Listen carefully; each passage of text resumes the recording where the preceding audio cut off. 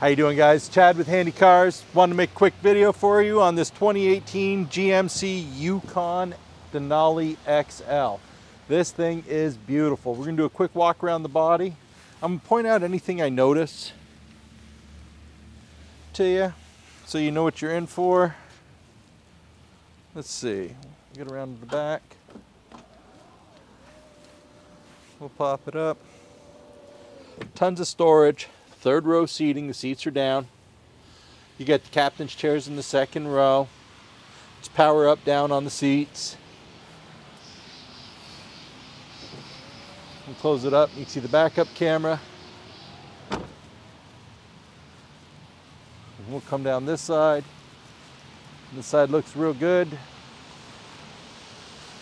We'll walk back over to the driver's side, open it up, let you take a peek inside and see what's going on in there. When I open the door, the running boards pull out automatically. It says power windows, power locks, power leather seats with memory seating. It's got nice Bose speakers. It's got a nice touchscreen, steering wheel mounted controls, heated and cooled front seats, and that nice sunroof. We'll open up the back. You